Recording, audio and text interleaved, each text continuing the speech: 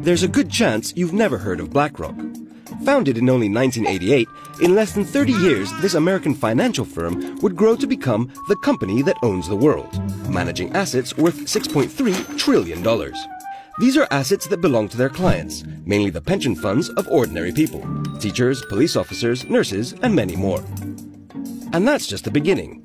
BlackRock has also developed a software platform called Aladdin to perform risk analysis for its clients. It receives sensitive data from banks, insurance companies, and other important institutions. Through Aladdin, BlackRock has insights about the management of financial assets worth another $20 trillion.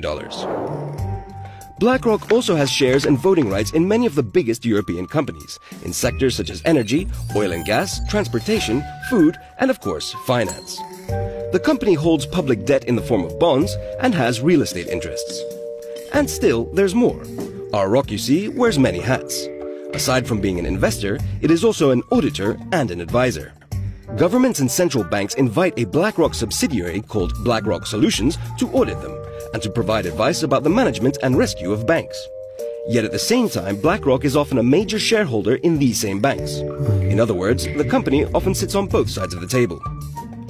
BlackRock Solutions gets privileged access to highly sensitive information, information that could be valuable to BlackRock itself. Does this constitute a conflict of interest? No, says BlackRock, which claims that the company has established Chinese walls between its different subsidiaries.